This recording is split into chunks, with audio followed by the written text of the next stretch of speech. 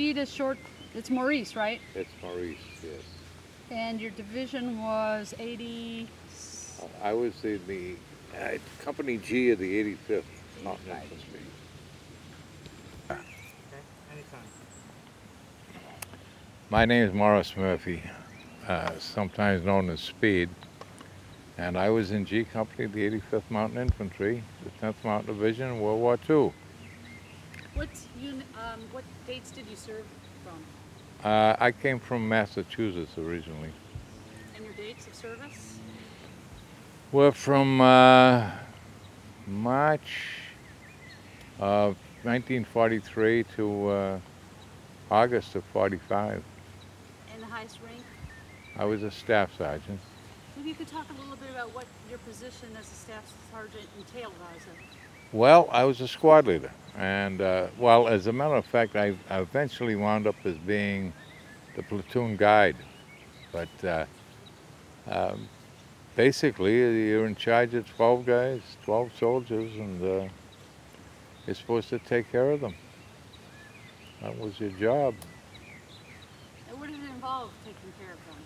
Well, uh, for example, if you, you know, marching, you, you, you make sure they all stay up, and uh, if uh, if one guy wanted to fall out, well, you might you might split up his load or something, you know, uh, do things like that. But uh, basically, it's taking care of uh, your fellow human beings.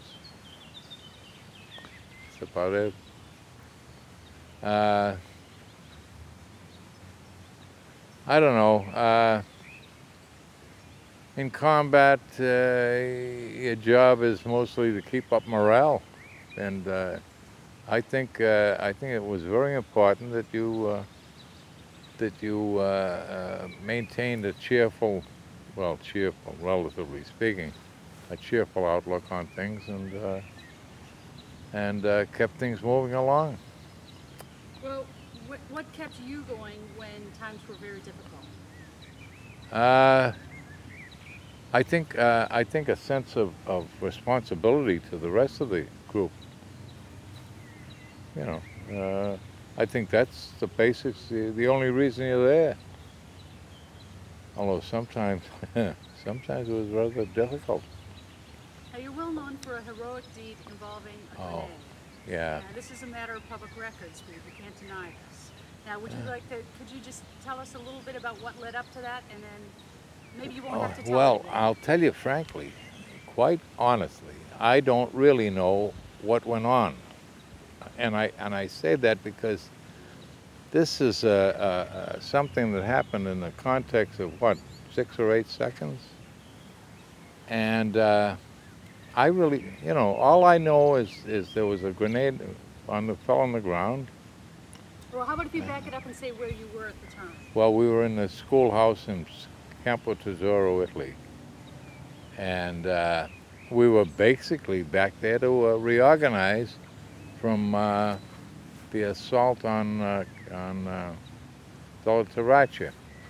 And what happened was the first sergeant told me that he wanted me to take out uh, the replacements and let them hear the guns go off, which basically was just getting them acclimated to the noise of, of battle. So apparently uh, they were going to take us on up and, and uh, put us in where, uh, you know, they could hear the guns going off. Anyway, uh, so I had a box of an ammo box full of uh, hand grenades, and uh,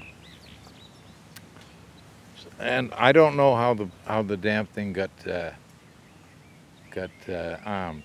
I, I frankly don't know. The only we, we, we've speculated a lot, and uh, uh, I I, my, I lean toward the theory that one of the kids picked up two of the grenades by the by the rings, and one of them slipped off. But I don't know that that's true or not. Uh, because some of those grenades, these these were grenades that we had used up on up on uh, Del Torrace, and the, and some of them were had the tape wrapped around the head, and some had the the pins were crimped a little bit, I think, to slide easier. I don't, I don't know. I don't know. Be all speculation on my part. Uh, so, it fell, you know, I saw it there, I heard it go off, and I, uh, I took off with it, not knowing much where I was going. But fortunately, uh, there was a toilet, and uh, I, I rushed in there figuring, I, well, I guess, I think that, that I thought that I could dump it, throw it down the toilet bowl or something, you know. And uh, there was a couple of guys in there, as I recall. I think that was what was happening. They were in there shaving, so I couldn't leave it there. So I had got it out the window. And I don't really know. Uh, they told me that uh, I held it out there, but uh, I don't know. I think I, I think I was trying to decide whether to throw it up on the roof or to drop it down, but you know, I ran out of time. wasn't uh, wasn't a lot of time for making decisions. So anyway, that's the story that I, as I recall it. So the grenade went off. Yeah. And I staggered back into the room, and I, I think I, I, I remember I had trouble holding my, keeping my balance.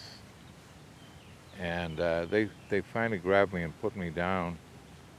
And then a couple of medics came along and uh, hit me with some morphine, and I was in la la land from there on out. uh, you know. The final result of this was that I had, well, that's what I got left. So, uh, say two.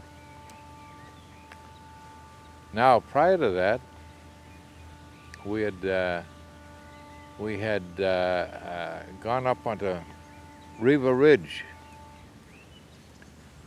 And uh, yeah, well, no, it was Monte Spigolino. Monte Spigolino. We'd gone up from the Cutigliano, Cutigliano side of the uh, of the mountains, and uh, knocked out a. Uh, we knocked out a German outpost up there that had been watched. And and Monte Spigolino was right at the head of Riva Ridge. Is at the south end of Riva Ridge. It's, it's the beginning of Riva Ridge, and uh, they had a uh, they had a uh, well, a, a hidden shack, or whatever you want to call it, there, that they observed our movements through the valley down below, which was our uh, marshaling headquarters. So, and we uh, we were in on that, and then of course we were in on uh, uh, Belvedere, Gorgolesco, all the way down the mountain. when you look back on those battle experiences that you just mentioned. Um, can you tell me a memorable incident that pops out at you? Yeah, well, oh, there's, there's, there's, a, there's an interesting uh, sidelight. Uh, you know what crampons are? Well, we were probably the only unit in the United States Army that ever used crampons. And we used them on that assault I was just talking about on, on uh, Monte Spigolino. Well, we had to go over uh, Corno alle Scale, and, and uh, we, we started down at the foot of the mountains near uh, near Lizzano and, and uh, Pistoia.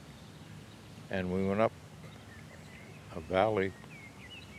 We got up on the summit and we moved down the summit line for a period of maybe, well, we got there at dawn, so we must have been going five, six, eight hours maybe.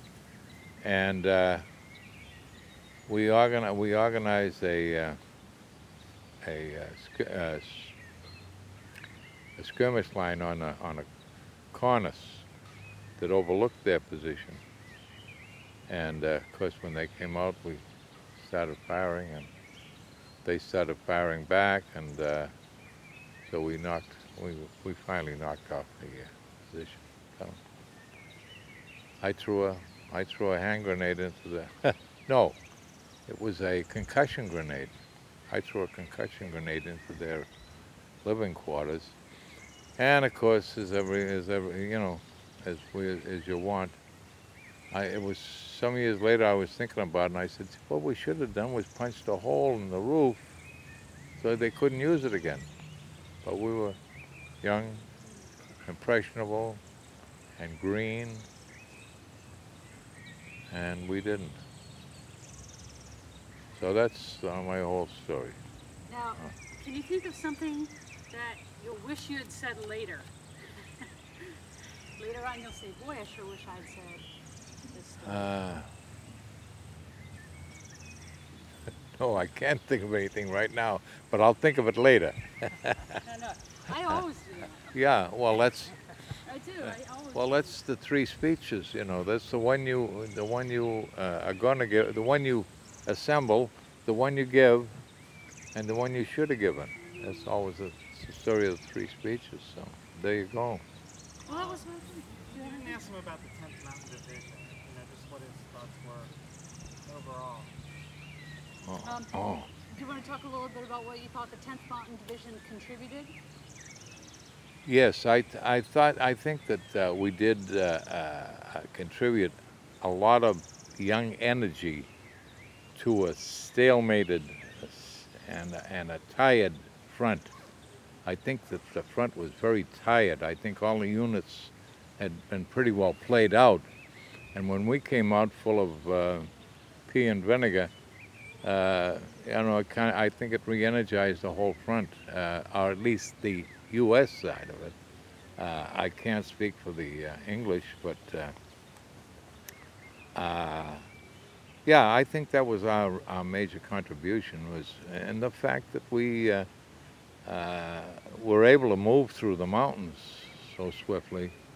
I know that the Germans mentioned that, that in uh, Truscott's book or, or Clark's book, he mentions the fact that the Germans marveled at our ability to move through the mountains. So I, I'll have to defer to higher rank than I possess.